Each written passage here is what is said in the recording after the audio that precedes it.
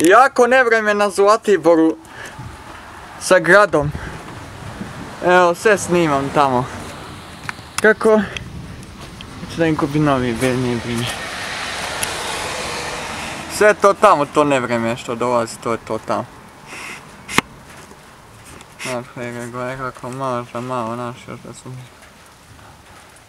Vidite, evo.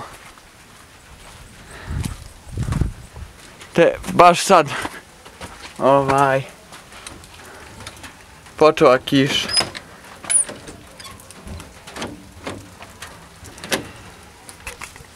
Evo kiše, evo sad će grad još malo. Evo sve jače i jače.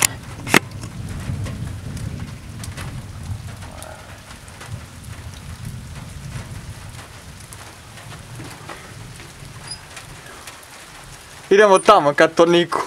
Kasni, da.